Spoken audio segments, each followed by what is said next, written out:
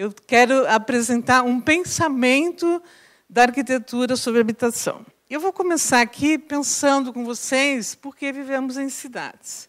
Porque se a gente for arquiteto e não gostar de viver em cidades, é melhor a gente desistir da profissão. Então, eu trouxe aqui uma foto em homenagem ao Ciro Pironde e ao Paulo Mendes da Rocha. Seu Central Park, o lago do Central Park e os patinhos famosos lá. Tem um livro que todo mundo está lendo, é uma leitura obrigatória do Leonardo Padura, um escritor cubano, que chama é, O Homem que Amava os Cachorros. E aí o Padura escreveu uma crônica na semana passada na Folha, que ele sempre pensou sobre os patos do lago é, do Central Park.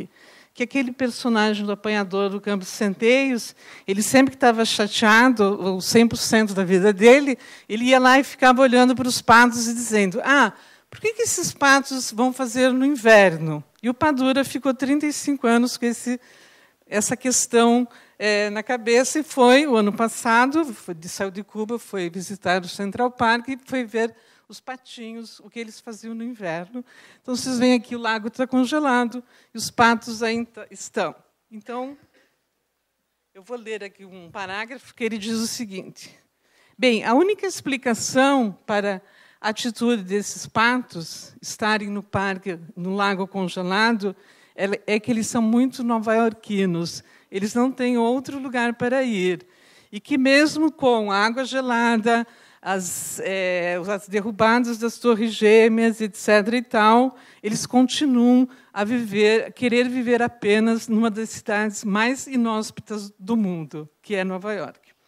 Então, toda vez que a gente pensa, eu aprendi isso com Paulo, que São Paulo é horrível, quero mudar, etc. e tal, eu tenho que pensar o que eu vou fazer para que isso que pode parecer inóspito fique melhor. Então, a gente vai ver um pouco do que a gente já aprendeu sobre habitação e cidades. Então, temos a Era Moderna, que começa logo após a, Primeira Guerra Mundial, onde se pensava é, na cidade como a cidade dos carros, da velocidade, das implantações dos grandes conjuntos, que o Corbusier é o nosso expoente maior. Corbusier também fez algumas digressões sobre São Paulo, onde ele reconstruía um outro território que seria possível na Segunda Guerra, após a Primeira Guerra Mundial, aquele ambiente de reflexão que é o oitavo o Cian da Carta de Atenas é o melhor exemplo, né? Estavam todos os arquitetos que contavam na época no mundo, num transatlântico, no Mediterrâneo. A gente vê ali o Corbusier observando o mar Mediterrâneo, e aí eles decidem o futuro de todas as nossas cidades e publicam a Carta de Atenas. É um mundo de certezas, onde tudo vai caminhar como a gente pensa que é, etc. E tal. Mas nessa época, eu acho que é, a, a, a questão do estudo da habitação avançou muito. Então, eu trouxe aqui uns exemplos. É, esse aqui é o, o Britzhoff, todos vocês devem estudar isso na primeira aula de arquitetura. É uma foto recente, então, é, o Bruno Taut, que é um expoente da pesquisa habitacional, implanta um negócio que até hoje deve ser o sonho de todo mundo morar lá. Aí tem a Zidelung, de Stuttgart, onde você tem uma série de arquitetos pensando o módulo habitacional, a tecnologia, etc. e tal. E tem a Karl Marx Hoff. É, eu, é, essa foto é antiga, mas se você hoje for a Viena visitar, ela está exatamente da mesma forma. Então a gente vê que os arquitetos faziam coisas muito boas na época moderna, que poderiam continuar servindo de exemplo, ou deveriam continuar servindo de exemplo para todos nós, estudantes e professores de arquitetura.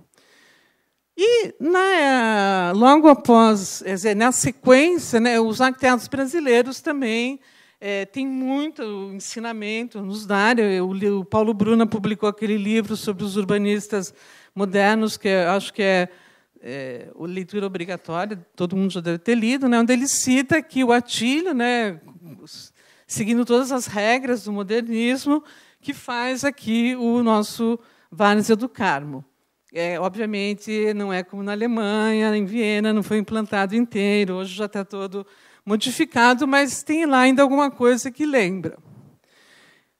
E já nessa coisa da cidade de São Paulo, nessa é, metrópole enorme, diversificada, etc. E tal, o NISE trabalha com a ideia da verticalização, que até hoje, às vezes, é um mito para, os arquitetos urbanistas, para a habitação. NISE. E é, o nosso paradigma da habitação que deu certo, que é Pedregulho. Então, é, até hoje, é, graças a Deus, a Prefeitura do Rio é, teve uma atitude fantástica, eles começaram a recuperar né, esse patrimônio que é, não dá para ser arquiteto sem antes visitar Pedregulho e ouvir o que os moradores acham daquele lugar. É, é uma experiência é, é, completamente emocionante. Muito bem. Só que, após tudo isso, é, onde nós tínhamos todas essas certezas sobre o mundo, nós tivemos a Segunda Guerra Mundial.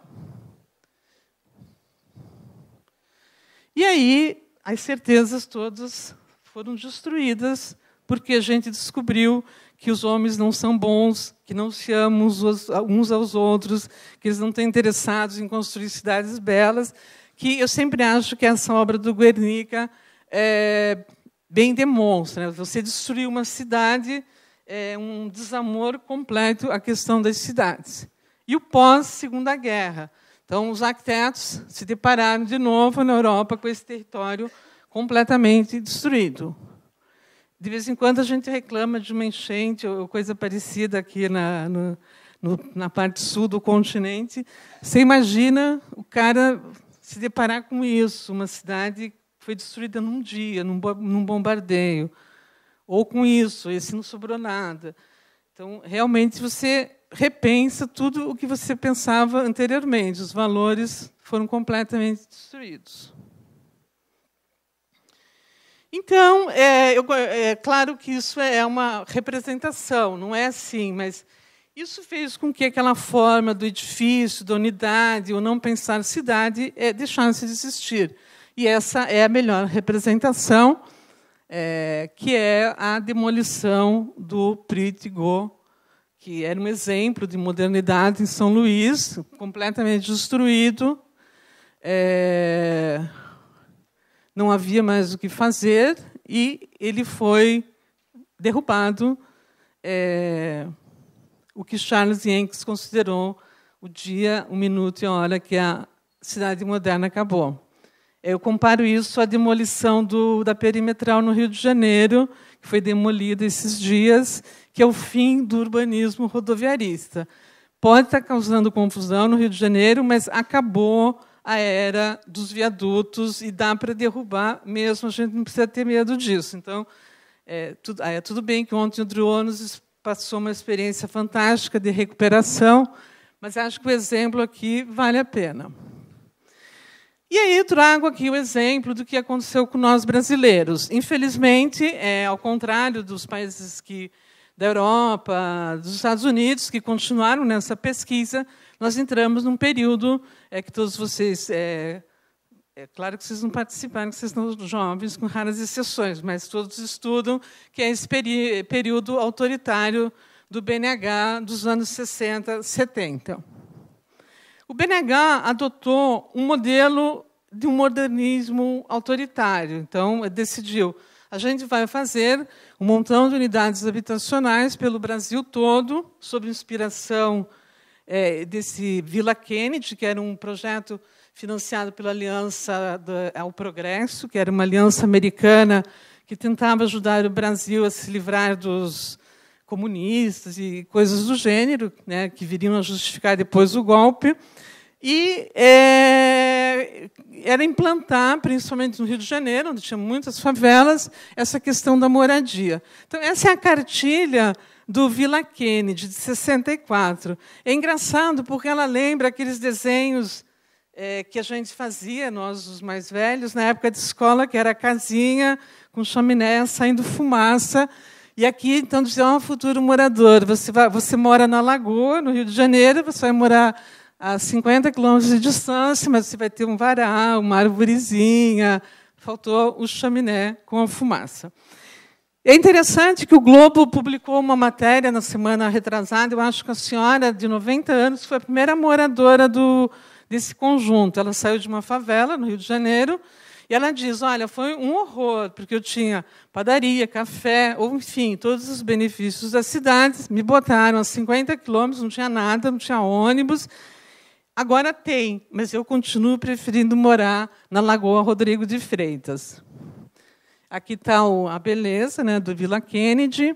Esse é um outro, são alguns exemplos apenas, de 72. Aqui é o famoso, né, que o, o Raul falou ontem, do Cidade de Deus. E aí, na época já do, do declínio do, do, regime militar e do fim do PNH, nós ainda conseguimos, em São Paulo, produzir algumas maravilhas da arquitetura habitacional. Então, essa cidade de Tiradentes, essa foto mostra todas as declividades do território de São Paulo e os conjuntos ali é, implantados sem nenhum respeito a coisa nenhuma. Né? Agora, aqui já está tudo ocupado por habitações precárias, etc. E tal, mas esse é o, o visual que a gente tem. Agora, eles até pintam, tal, mas ainda continua ruim. Né? Eu acho que é legal destacar que, apesar de toda essa repressão que a gente vivia e as ideias não circulavam, você não recebia nem, nem revistas estrangeiras, nada, alguns arquitetos deram início a, processo, a um processo de vamos buscar uma alternativa a isso. A cidade brasileira ela tem precariedade e não dá para botar todo mundo morando em apartamento. Esses arquitetos é, foram capitaneados pelo Carlos Nelson, um arquiteto é, carioca. Ele foi funcionário da Secretaria da Habitação lá durante décadas, morreu precocemente. E ele, muito inspirado na, nas ideias dos novos artistas que estavam surgindo no, do neoconcretismo, o, o Oiticica, que trouxe a favela para os museus, é, às vezes impedido, mas tentava, pelo menos, a Lija Pape. Dizer, tem alguma coisa, ele pensava que não é a institucionalidade da arquitetura que a gente tem que buscar trabalhar. E ele começou a trabalhar, então, na Maré, né, é, com a população que morava precariamente. Eles desfaziam as casas precárias e refaziam é, os projetos com a, com a população. Era um negócio absolutamente fantástico. E aí as casas iam melhorando né, após a, as reformas que eles promoviam. Isso, então, já apontava, nos anos 70, que é, haviam outras alternativas além do modelo modernista autoritário do BNH. E aí tudo mudou. É, nós, é, felizmente, voltamos à, à normalidade democrática, mas a cidade não era ou não tinha mais espaço para a casinha com chaminé saindo fumaça e árvore. Então, essa é a nossa cidade que a gente tem que gostar dela como os patinhos gostam do lago do Central Park. Então, isso é Istambul, pode parecer horrível, mas é uma cidade que tem milhares de anos de tradição que todos querem visitar. Aqui é a África do Sul, aqui é a nossa cidade, isso aqui é a Venezuela, se você não fala os nomes, é tudo muito parecido. Aqui é Medellín. E aqui alguns dois exemplos nossos, que é Paraisópolis e a nossa região dos mananciais. Esse é um mapa, então, hoje da nossa clientela. Além da clientela habitual que nós já temos, nós temos bilhões né, de pessoas morando nesse eixo sul-sul do planeta, que vive em assentamentos precários num grande número. Então, esse é o nosso desafio das escolas de arquitetura e urbanismo. Quais as respostas que a gente tem dado nas, nos últimos anos? Ou nas duas últimas décadas, talvez, mas mais fortemente na última década. Então, a gente tem esse negócio absurdo, que dá nem para saber se a foto está correto ou não, que é em Hong Kong, isso é na China, totalmente tudo sem cara. Isso é interessante, ela é um conjunto na África do Sul, que foi feito para um reassentamento. Os moradores se recusaram a ser reassentados e ele está vazio há cinco anos. Esse aqui é no México, aqui é em Belo Monte, esse também é Belo Monte. Esse aqui acho que é Minas Gerais, se me falha a memória. E aí a gente vai ver os resultados da adoção dessa política habitacional mundial para os pobres, que não reflete o que nós aprendemos nem sequer com os arquitetos modernos. Isso aqui é um Singapura. Singapura, é na cidade de São Paulo, construiu cerca de 20 mil unidades e depois de 10 anos eles foram é, se encontravam dessa forma. Então, o que significa isso? Isso aqui tem um custo. Então, você faz a unidade por baixinho valor, mas depois você vai ter que resolver essa questão. Isso custa bastante. Todos os singapurenses têm esse problema. Ó. Alguns estão é, refeitos, uma favela. Aqui vocês lembram aquela favela quando a gente chegava de Guarulhos, né? agora já está lá reformado, esses dois estão reformados. A gente constrói em locais que não observa se a natureza está concordando ou não, é, sem um respeito. Isso aqui é na várzea do Rio Tietê. É o máximo, né? de construir na várzea do Rio Tietê. Esse aqui é na várzea do Rio Tocantins. Então, encheu de água, né? e o Rio Tocantins resolveu retomar o seu leito. E esse é aquele famoso, que todos vocês devem ter visto, que era para ressentar as famílias que viviam no lixão, e o prédio sofreu fissuras e foi demolido em Niterói. Então, dissemina-se pelo mundo essa prática que não leva em conta o que os arquitetos urbanistas têm a dizer. E quanto custa, então, isso? Esse aqui é um, um Singapura, em Heliópolis, né, completamente tomado, aqui pegou fogo, assim, aquela desgraça assim, atrás de desgraça. E aí a população de Paraisópolis pediu para se refazer. O Hector Villeca fez esse projeto, que já está lá implantado, as pessoas já estão morando. A quem acha a foto era antiga, ainda da, da época da obra. Então, o custo é: você tem que tirar as famílias para o aluguel, para elas esperarem. Aí sempre tem mais famílias do que cabe, então você tem que comprar mais áreas para fazer mais prédios. É, aí esses moradores ficam revoltados porque eles não moram num apartamento do Hector Vileca, é, não se conformam com a unidade, querem também mudar e por aí vai. É, isso, se você pensa em 20 mil unidades construídas e provavelmente 40 mil que ocuparam os terrenos vagos, é, a unidade que custava, sei lá, 50 mil reais na época do Singapura, se for feita a conta, sai por 150 mil reais. E a unidade do Hector Villeca sai por 100 mil, 120 mil reais. Então, é, o barato sempre sai caro. Essa é uma coisa que o, meu avô era pedreiro, ele sempre dizia isso: obra barata vai sair caro, não tem erro. Então, é, esse é um super aprendizado que a gente deve levar em conta. E aí, acho que com todos esses backgrounds que a gente foi tendo ao longo da vida, a equipe da SEAB, eu vou trazer alguns exemplos do que a gente fez, é, a política da, da Secretaria da Habitação para a cidade de São Paulo. Então, a primeira coisa é que quando a gente fala do déficit no Brasil, a gente fala ah, tem 10 bilhões de déficits, de déficit habitacional. Ninguém nunca contou, ninguém sabe os 10 milhões de, de brasileiros que estão em déficit. É um cálculo, é, são os famosos números é, do IBGE, sempre muito incentivados pelo setor da construção civil.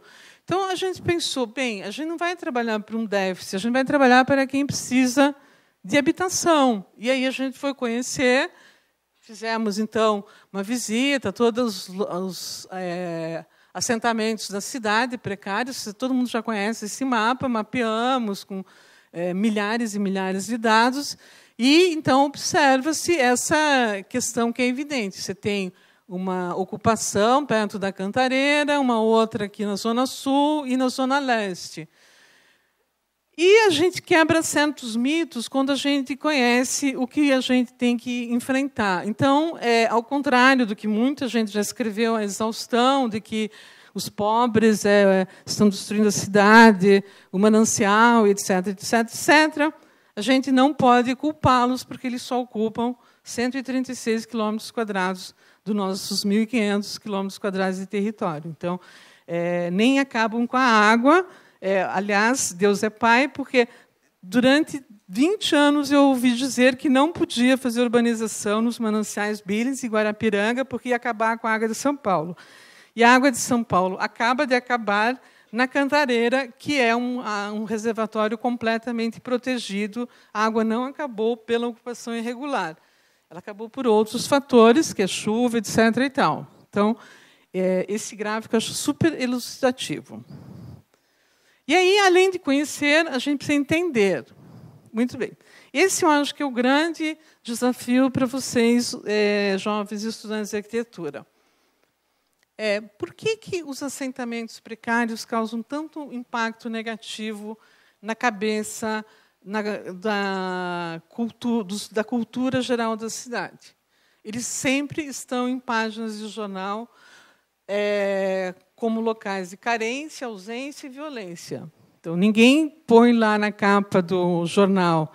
Agora até saiu o negócio da cabeça de Higienópolis, mas o tráfico de drogas nas escolas localizadas em Higienópolis, Vila Buarque, etc., tal, é o tráfico, o maior consumo de drogas da cidade de São Paulo, que alimenta os que vendem lá em Paraisópolis. Isso ninguém fala. Então, é assim, ah, os traficantes de Paraisópolis, etc. E tal. Então, isso vai criando, inclusive nos estudantes de arquitetura, eu vejo muito isso, essa coisa de não é o que eu queria que fosse, aquela verdade estabelecida do conjunto, bem feito, desenhado, ortogonal, etc. E tal. Então, esse é um desafio enorme para a gente enfrentar essa cultura negativa. Então, qual é o problema da pessoa morar numa favela? Bom, eles foram lá, ocuparam, porque não tinham outro lugar para morar, próximo ao local de trabalho, em geral, não seguem as, regras do zoneamento e uso do solo, é, que cá para nós também 90% da cidade não segue, e elas são obsoletas, inadequadas, etc. e tal. Apropriaram-se de um terreno sem consentimento do proprietário, é, mas às vezes por falta absoluta de, de alternativa.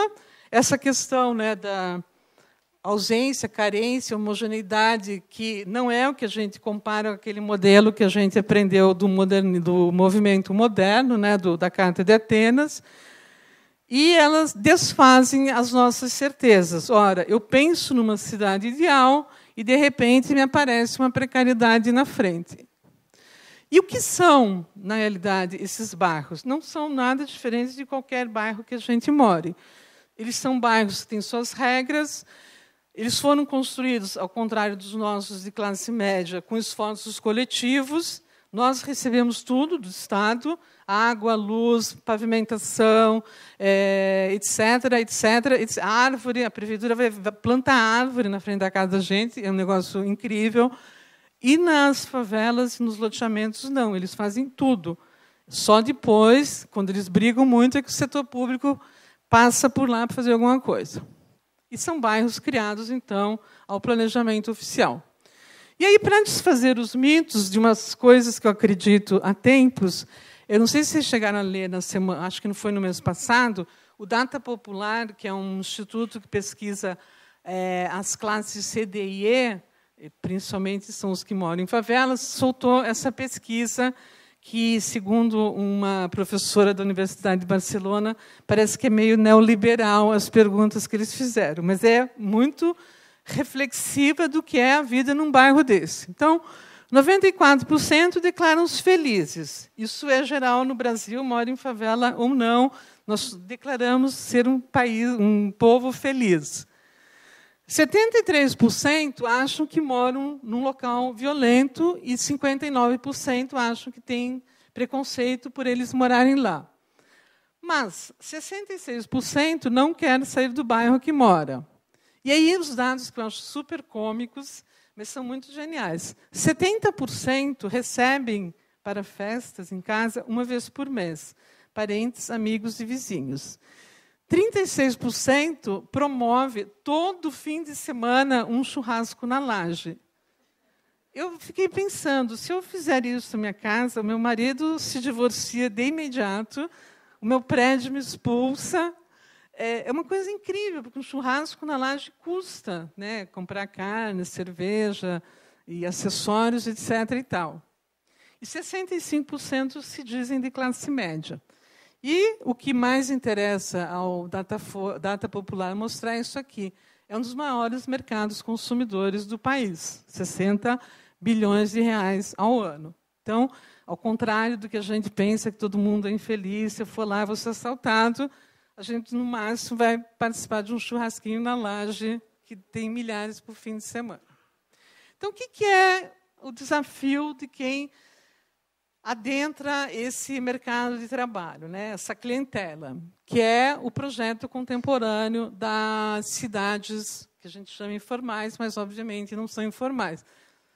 É, a gente tem que transformar o projeto vai transformar o bairro, levar é, coisas e serviços, etc. E tal, que não tem, que é comum no resto da cidade, mas sempre respeitando o que é chamado as pré-existências. Esse conceito é fundamental, que é o que eles construíram durante décadas, e não dá para a gente chegar lá e destruir tudo e construir tudo de novo. E, principalmente, trabalhar com a questão do espaço público. É, ao contrário dos bairros é, tradicionais de classe média, que tem clubes, etc. e tal, as pessoas não têm clubes, então a rua é o espaço social meio maneira do que a gente aprendeu no urbanismo grego, que é a ágora, onde as pessoas vão lá discutir, fazer fofoca, brigar, etc. e tal. E aí eu vou mostrar alguns é, passos de como a gente foi construindo é, a política. Né? Algumas intervenções começaram individualizadas, que já estavam em andamento, e mas a gente pensou, a gente precisa fazer planos urbanísticos, pensar é, os bairros, é, um conjunto de bairros de forma é, conjunta. Então, aqui é um exemplo, né, a maquete do, do São Francisco. São Francisco fica na divisa com Mauá. Ele é um bairro poderoso, tem 15 mil é, famílias vivendo lá, e eles ocuparam, é, nos anos 70, como uma forma de, dos movimentos populares se manifestarem contra o regime à época. Então, tem 50 lideranças que brigam lá. É, Estava conversando com o Marcelo que as fotos da Beatriz da reunião do movimento é, são bem tranquilos quando comparados com os nossos. Então, para a gente ter uma ideia, né, um bairro cheio de intervenções, né, Singapura, é, tem mutirão, aquele mutirão do, do Demetri, aquelas é, casinhas todas desestruturadas, muito, enfim, só para vocês terem uma vista. E aqui o Fórum dos Anjinhos, né, todos de bonzinho ali, de isso é muito legal, que aí é, eles fizeram toda a lista né, de demandas, que sempre é enorme, apontaram os problemas todos do bairro e o que, que eles queriam que mudasse. Então, coisas que a gente assim não conseguiria imaginar que mudaria a vida dele. Né? Calçada, é, completamente ridículo né, o negócio aqui. E, além disso, é, a pesquisa de mobilidade é, que a, o metrô fez, saiu agora os dados, mostra que 13 milhões de paulistanos andam a pé, o modo de se locomover. Então, imagina com esse tipo de calçada, né? lixo, poluição. E aí, esse foi o resultado do plano de, de, de do São Francisco, né? criar mais centralidades, fazer um circuito, né? eles têm uma linha de ônibus lá, enfim. Isso foi super legal, que a gente foi apresentar lá para... A primeira vez que a gente foi apresentar o resultado para, o fórum, é, os arquitetos tinham decidido que aqui, numa área que tem um campo de futebol que veio da época da ocupação, ia ser uma área, um centro comercial. e o campo de futebol ia desaparecer, porque aqui tem um, tinha um, um depósito de lixo que virou um super parque com 40 mil quadras de futebol, e o pessoal lá da, da equipe achou que não faria mal nenhum acabar com essa quadra. E aí, uma sucessão de líderes dizendo: não, a gente não quer que esse campo saia. E o outro não quer, não quer, não quer, não quer. Daí, finalmente, um cara explicou. Eu sempre repito essa história porque eu acho muito engraçado. Me lembra do Aldo Rossi. O Guigui levantou e falou assim: vocês não estão entendendo. É, não é por causa do campo de futebol, é por causa da referência do bairro. É como se você fosse tirasse a Praça da Sé ou a Torre Eiffel em Paris. É uma referência dos moradores. O campo é a nossa referência, que é o que o Aldo Rossi diz sempre, do sentido de pertencimento a uma comunidade. Então, é, os arquitetos aprenderam e a sessão, as intervenções muito simples, né? É, você tinha lá uma escadaria toda caindo, aqui arrumou, você cria acessibilidade. É, essa questão de mudar parâmetros de, da legislação vigente, que tem que ter meio fio pintado de zebrinha, etc. Tal, eu não sei de onde saiu isso. Né? Fazer uma coisa que toda cidade medieval tem. É, os pontos de, de, olhar o resto da cidade, que são, são bonitos. E aí, no meio do processo, resolveram passar com o rodoviarista aqui, que é a Jacu Pêssego. Então, o setor rodoviário da cidade não tem o menor respeito por bairros. Claro, eles pensaram, ah, é uma região lá que não vão reclamar muito, eu vou passar aqui passar. Então, foi proposto, os moradores pediram esse parque, e foi uma confusão enorme no fim. E agora, a experiência de Paraisópolis, porque é para os nossos convidados internacionais, eu acho que Paraisópolis é o bairro mais paradigmático né, dessa intervenção. Ele hoje disputa com Heliópolis, ele, o IBGE ainda não chegou a uma conclusão, qual é a maior favela da cidade de São Paulo, mas tem algo em torno de uns é, 80 mil habitantes aproximadamente, ou seja, é maior do que 75% das cidades brasileiras. Ela tem essa característica né, de estar numa zona com alta valorização dos terrenos e ela tem uma sucessão de processos de ideias de retirada da da favela para algum outro lugar distante para que se aproveitasse os terrenos.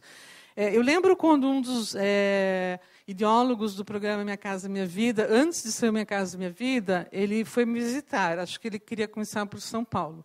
Ele falou assim: Olha, eu vou implantar Minha Casa Minha Vida em Paraisópolis e em Heliópolis. Tá? Não era Minha Casa Minha Vida, era habitação, não sei o quê. Eu falei: Ah, tá bom. Então vamos lá apresentar para a população assim, para não perder muito tempo, eu quero dizer que eu estava de má vontade. Vamos apresentar ao Fórum de Heliópolis, de Paraisópolis, essa ideia brilhante de transformar a, o bairro deles em conjuntos habitacionais. E ele levou lá umas perspectivas daquelas que vocês conhecem, né, de predinho, etc. e tal. E, obviamente, ele desistiu da ideia, porque a construção rápida para gerar lucros jamais seria possível aí, porque cada intervenção você tem que discutir 5 mil anos com os moradores. Então, algumas vistas para que a gente entenda como é o bairro. Então, é, os moradores têm referências, eles passam por caminhos especiais, a vida se dá na rua, as crianças vão para a escola a pé, eles criaram uma escola de balé, que não tem ainda lugar, mas é uma coisa belíssima, né? Você é, é um, um, um, Quer dizer, a associação dos moradores fazia todo esse tipo de, de, de esforço. Essa, criaram uma sinfônica. É, essa foto é legal porque aqui vai ser o lugar da, da escola de música. Isso aqui é um churrasquinho na laje, é, uma vez por semana, 36% da população. Essa vida dizer, não é muito diferente aqui da, dessa área central da cidade, né, de vendas, etc. E tal. E aqui umas intervenções sempre muito simples. Né? Você não tira o que tem, se não está em risco, você faz um, resolve um problema de deslocamento da população, né? as declividades são enormes, com espaços onde ela possa praticar esportes, etc. E tal. Isso aqui já é um aprendizado. É, esse conjunto fomos nós que implantamos, é um projeto do Edson Elito, mas veja, a gente não tinha resolvido o modelo tradicional de cidade. Então ficou horrível, né? Criança na rua, etc. E tal. Então foi pensado essa questão de é, ampliar as calçadas e o carro ficar com espaço um pouco menor. Isso aqui é o bairro, é o primeiro conjunto né, que a gente implantou, e o bairro educador, lá tem várias escolas, CEL, Escola Técnica, etc. E tal. É, isso aqui é um outro objeto de discussão infinita, que é as unidades construídas nas, nos limites da, da favela. Então, cria naturalmente uma separação. O cara que vem morar aqui, ele já não quer mais ver o vizinho, é, mas ele frequenta o churrasco lá na laje. Enfim, é uma coisa que a arquitetura é, tem que pensar. Nesse caso, eram os terrenos disponíveis, eram os ex, etc. E tal. Esse aqui é o famoso campo do Palmeirinha, também intocável, em Paraisópolis. E aqui, uma área de super risco, onde vai estar é, a tal escola onde que vai abrigar o balé, a orquestra sinfônica e outras atividades. E esse também é um trabalho muito legal, que é o córrego do Colombo, né, super precário, e, nesse caso, você tira né, esse conjunto de moradias, que não tem como ficar, e aqui está o projeto que está lá em implantação. É, você cria muitos espaços públicos de qualidade, bem feito, caros, etc. e tal, e se torna uma praça para a população. E aqui é a última foto de Paraisópolis, que é o padrão FIFA na urbanização de favelas. É a perimetral, vocês veem veem que não tem fios expostos, os fios foram enterrados, e eles brincam que a perimetral deles é padrão FIFA, que é, deveria ser toda e qualquer é, urbanização. Então, esses aqui ainda são intervenções pontuais, é do começo de um trabalho que está sendo montado, uma metodologia, um pensamento, etc. e tal, e que ao largo dos anos possibilitou que a gente fizesse é, um, projetos de grande escala e, finalmente, acho que vocês viram ontem, o Renova. Então, é, isso era um grande desafio lá, a água espraiada. É, então, são 10 mil famílias vivendo em favelas em cima do córrego Água Espraiada. Eles têm é, um trauma da primeira urbanização, que foi todo mundo tirado e colocado não sei aonde, receberam é, um valor. E, então, isso tudo criou um trauma muito grande nas famílias. Então, é, não foi fácil trabalhar. Aqui está né, as favelas, elas não são urbanizáveis, porque elas são todas na várzea, do, muito precárias, na várzea do, do, do Águas Praiada, esse conjunto aqui de, de favelas. E esses laranjas são os terrenos que nós adquiríamos para as novas unidades habitacionais, tudo dentro do perímetro aqui da operação urbana Água Espraiada. E aí é, a gente teve uma ideia que, é, como ideia era genial, chamar, ainda não dava para fazer concurso, era uma coisa rápida, inspirados na Hoff de Stuttgart, chamar vários escritórios de arquitetura para eles debaterem tecnologias, materiais, a unidade, o programa, etc. E tal. Então, nós chamamos é, inicialmente quatro consórcios de, de arquitetura, é, muitos deles aqui presentes, e eles logo viraram oito, preferindo trabalhar sozinhos. E depois viraram doze. Então, é, a gente tem uma dificuldade dessa pesquisa conjunta. Então, aqui, a ideia era essa. Né? No fim, acabou, o Água Espraiada acabou que nem o Weisenhoff. Né? Cada arquiteto ficou com um prédio. O coletivo não deu muito certo. Então, a gente queria repetir essa ideia da qualidade. E a segunda inspiração foi o Ansa Virtel, de Berlim, que já trabalhou com a questão, também convidando vários arquitetos, etc. E tal, da verticalização. Na cidade de São Paulo não dá mais para pensar sem verticalização. E aí é que a gente tem os exemplos. Isso aqui é 1957. Então vejam vocês, é, 60 anos depois, o que o mundo anda fazendo. Parece que a gente jogou no lixo um aprendizado é, que custou estudo, vidas, etc. e tal. De todo o aprendizado da Bauhaus foi para o lixo. E aí a gente tinha uma experiência que era do Real Parque, vocês conhecem lá, né, na, na Marginal, aqui. É uma, tinha um Singapura aqui ocupadão, né, como sempre, cresceu um pouco a ocupação. Então, aqui tem é, 800 unidades, se não me falha a memória, e quando a gente fez o cadastro, aqui tinham 1.400. É, nós tínhamos recursos da operação urbana, que nunca alguém tinha tido a ideia de usar para habitação, e nós resolvemos, então, abocanhar tais recursos. Aqui tinha um alojamento que pegou fogo, o alojamento provisório já tinha 12 anos de idade, enfim, aquelas tragédias comuns. Aí convidamos o, o Colonelli para fazer um projeto, que fez com a Geni, lá da SEAB, a Geni Sugai. E quando eles começaram os primeiros estudos, isso aqui é uma ZEIS, aqui, demarcada ZEIS, e aqui não é ZEIS. Então, é, a gente fez e não, não cabia. E aí a gente comprou esses três terrenos aqui, que não são ZEIS. Isso deu uma confusão na cidade. Teve ação judicial contra a prefeitura, sete ações judiciais, porque os moradores aqui se recusavam a aceitar que a favela fosse subir. E não é um caso de subir, porque iam ser prédios e tal. Então, nós fizemos uma pesquisa e descobrimos e apresentamos para esses moradores aqui que 70% de quem trabalhava informalmente trabalhava aqui e que isso seria melhor para a vida deles, porque os funcionários não chegariam tarde, etc. e tal.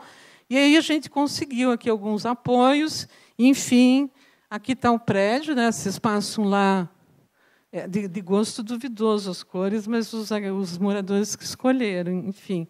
Aqui já a retirada né, da ocupação, do alojamento, etc. e tal.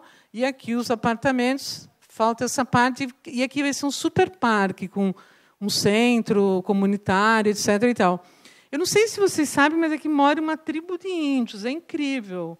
Os pancararus. Então, eles são protegidos pela FUNAI. E para discutir com o pancararu é incrível. Eles queriam taba, vai, vai ser mais ou menos aqui, tá, a tal da taba lá que eles querem para. Aqui também já foi construído na parte que os moradores eh, aqui vizinhos não queriam. Mas é engraçado, quando esse primeiro prédio ficou pronto, que é um xadrez, né? Só fazendo tal, é, começou a ter telefonemas para a SEAB se não podia se achar apartamentos. Ah, minha empregada, coitadinha, precisa de um apartamento, não está cadastrada, meu motorista, etc. e tal. E chegou-se à conclusão que não ia fazer tanto mal assim a, urbanização. Aqui é um exemplo. E aqui aí o, o, grande projeto. Né? Aqui a gente já viu, aqui está o Real Parque, o Jardim Edite e a Água Espraiada. Para quem não conhece, é quase todo mundo conhece, a Água Espraiada fica no eixo sudoeste, que é um eixo de grande valorização da cidade de São Paulo. Aí fizemos um cadastro com todas as informações para não ter crescimento, criamos um fórum para discutir com os arquitetos o que queriam, o que não queriam. Aqui é uma foto é, dos arquitetos. Aqui é o Luciano, Ciro, Marcão, todos ali e a população não gostando muito dos projetos. Então foram 14 escritórios de arquitetura que desenharam 5 mil unidades habitacionais nas 46 primeiras áreas. Então, esse aqui é anterior, que é o famoso Jardim Edith, aqui é a favela, aqui a Rede Globo, né, que sempre aqui o nosso cartão postal, rodoviarista. Imagina o dia que a gente conseguir derrubar um, a ponte estaiada, vai ser um. Vocês sabem, né? A ponte estaiada não tem nem ciclovia, pedestre é proibido de passar.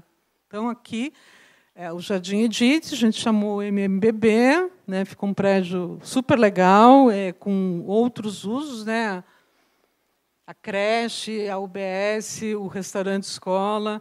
Tem uma praça, agora tem, eu tenho acompanhado no Facebook com oficinas de grafite, etc. E tal. Esse foi o primeiro prédio da nossa, dessa nossa experiência com elevador que era uma discussão de aproximadamente 5 mil horas com os assistentes sociais, que não gostam muito do elevador. E esse eu acho muito bacana, essa foto, porque vocês conhecem o Milton Braga, né? o sócio da Marta. Eu dei aula com ele na Brás Cubas e ele dizia: minha arquitetura é branca. E aí, olha a reforma que o morador implementou na arquitetura branca dele. Virou aqui ó, a água, tudo verde, chiquérrimo, né? Ele que me mandou essa foto, acho o máximo.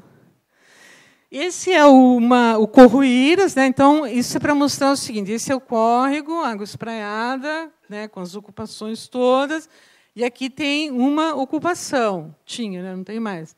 E aí o conjunto é aqui do lado. Então, é isso que é muito legal, a gente ter acertado é, na mão e buscado com que eles não façam grandes locomoções. Então, aqui está a foto né, da favela, eles ficavam ali controlando a obra, isso é do Marcos, e a, o dia da mudança, que é muito legal, mudança feita à mão.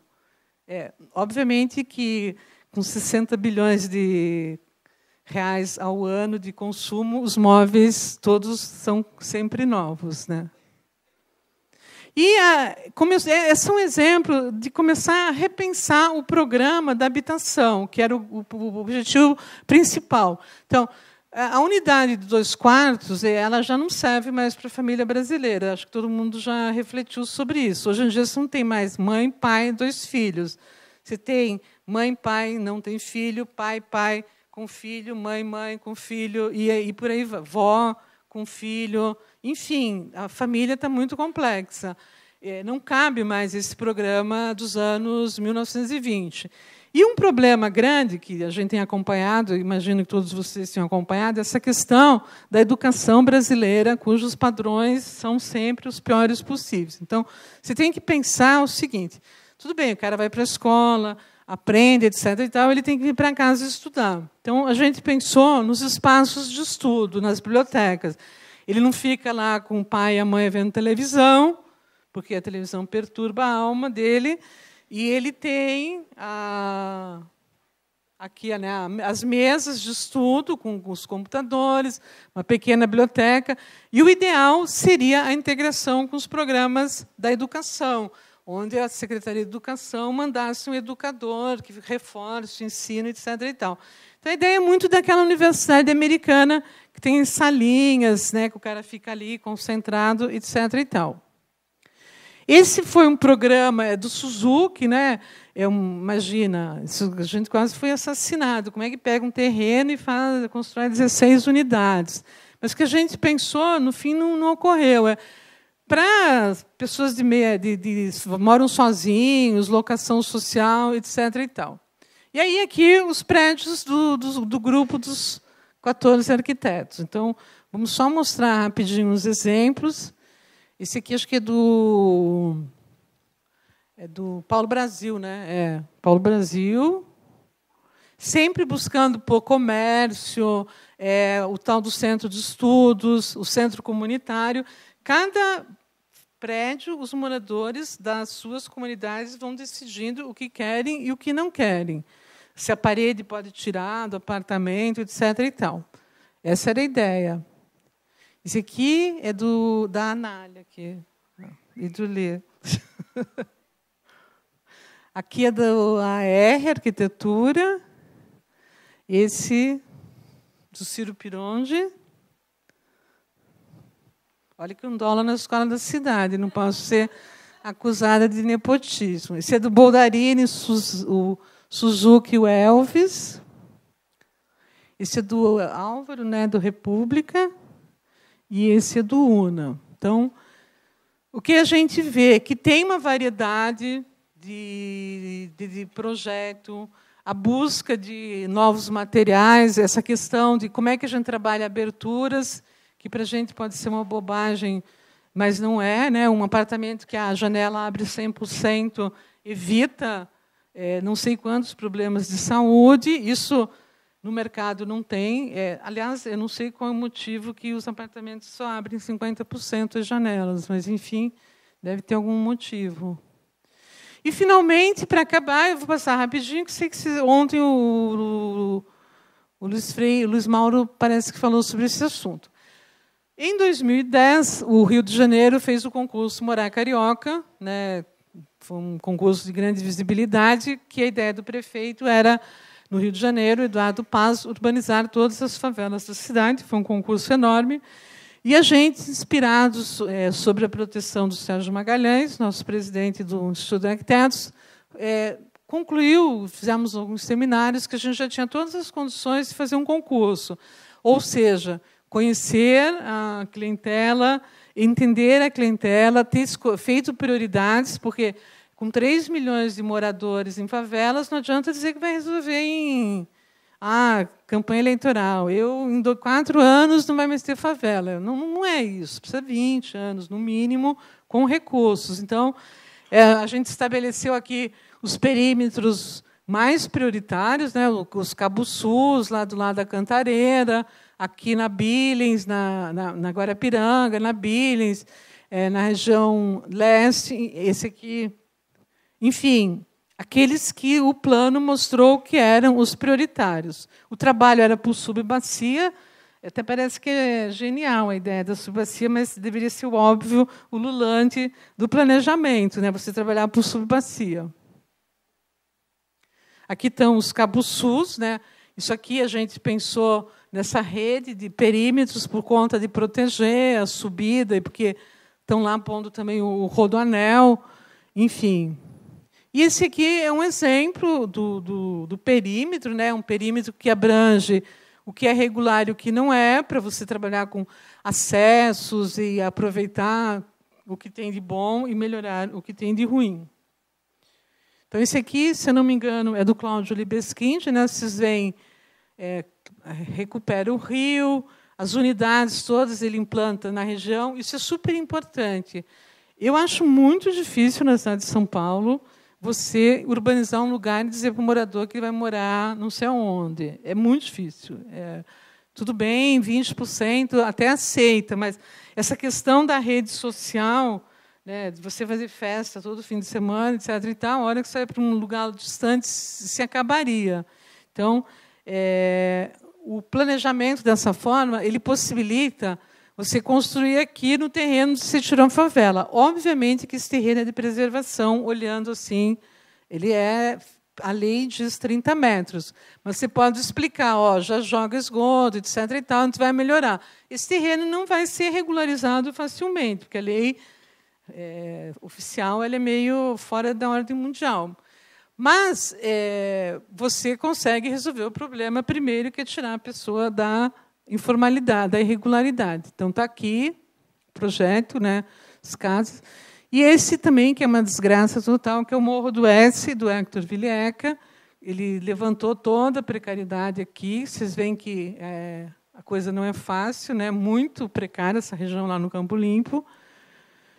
Buscando é, oportunidades em cada uma das áreas. Aqui está, é muito precário, né? coisa de louco esse negócio.